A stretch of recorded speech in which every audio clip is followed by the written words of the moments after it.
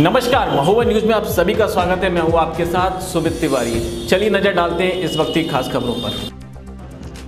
Police अधीक्षक मनीलाल पाटीदार ने आज सभी थाना अध्यक्षों महिला पुलिस सिपाहियों से वार्ता कर उनकी समस्याओं को सुना और समाधान करने का भरोसा दिया है। साथ ही प्रदेश के डीजीपी द्वारा जारी किए गए निर्देश का पालन करने के लिए मात हटों को निर्देश दिए हैं। आज पुलिस लाइन सभागार में पुलिस अधीक्षक मनीलाल पाटीदार द्वारा मौजूद थाना अध्यक्षों सिपाहियों की मौजूदगी में सैनिक दिवस के रूप में मनाते हुए प्रदेश के डीजीपी द्वारा जारी किए गए पुलिस को दी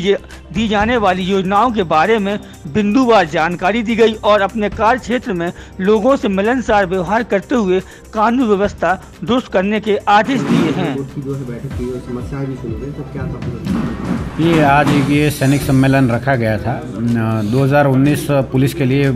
बड़ा महत्वपूर्ण वर्ष वर्ष था। लोकसभा चुनाव से लेकर राम जन्मभूमि का जजमेंट और इन सब में पुलिस ने जो अच्छा काम किया है उसकी सराहना के सराहना के लिए डीजीपी साहब द्वारा ये निर्देशित किया गया था कि उनके द्वारा जो बधाई संदेश भेजा गया है उसको सभी हमारे कर्मचारियों को सुनाया जाए और उन सबको एक धन्यवाद ज्ञापित किया जाए कि इस वर्ष अ, हमारा जो आरक्षी है या उससे ऊपर के जितने भी पुलिसकर्मी हैं उनके अथक प्रयास और सहयोग की वजह से ही शांतिपूर्वक पुलिस के लिए ये वर्ष रहा है। तो इन सब लोगों को धन्यवाद ज्ञापित करने के लिए और उसके अलावा पुलिस के लिए जो कल्याणकारी योजना है, जो गवर्नमेंट के द्वारा शुरू की गई है खासकर खासकर पुलिसकर्मियों के लिए, जिसमें सी अस्पतालों में पुलिसकर्मियों का इलाज की बात हो या बैरक्स या हॉस्टल या क्वार्टर्स के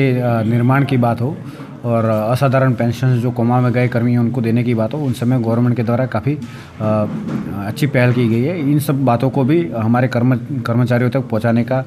के लिए आज ये सम्मेलन रखा गया था। इसके साथ साथ ही हमने आज इन लोगों से, इनकी जो व्यक्तिगत समस्या है, उनके बारे में भी जानने की कोशिश की और उनका निराकरण कराने के लिए हम प्रयासरत हैं।